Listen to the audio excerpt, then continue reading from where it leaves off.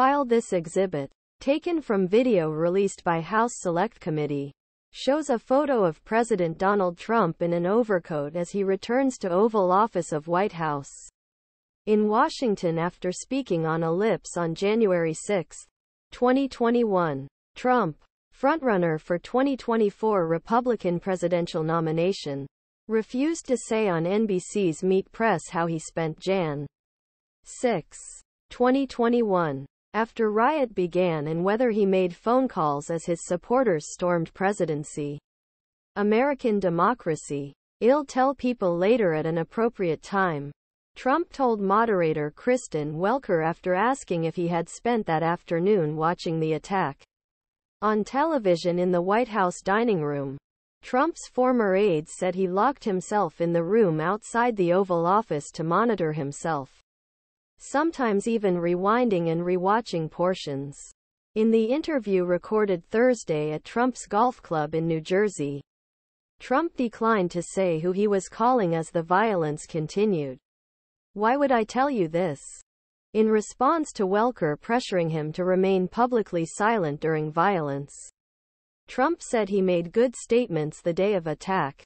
Trump's supporters fueled by his lies about the 2020 presidential election, stormed the building as Congress prepared to certify Democrat Joe Biden's victory. Trump faces federal criminal charges for his efforts to overturn his loss in this election. But he does not face charges related to the insurrection. Trump said he might consider pardoning some of the rioters charged for their actions that day.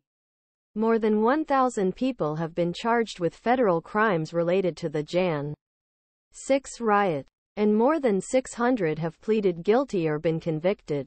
I'll take care of them. And I certainly could if I think it's appropriate to pardon them. The former president said. Trump also said he would consider pardoning former Proud Boys leader Enrique Tarrio, who was sentenced to 22 years in prison for a failed plot to keep Trump in power.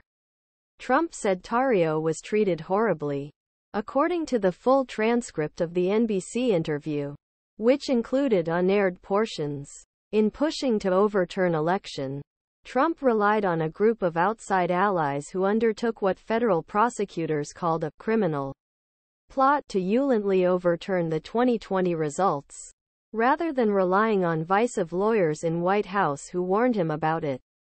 Accept your loss to Biden. In the interview, Trump was asked why he didn't listen to these lawyers. I didn't respect them, Trump said, but I respected others. I respected the many people who said the election was rigged. Trump said he listened to both his gut and different people to guide his actions based on election results. His appearance on NBC was Trump's first broadcast network interview since leaving office and marked Welker's first show as host. Trump also said he was pleased to hear Russian President Vladimir Putin's recent remarks, praising Trump for being re-elected to the White House and suggesting he would negotiate an end Russia's war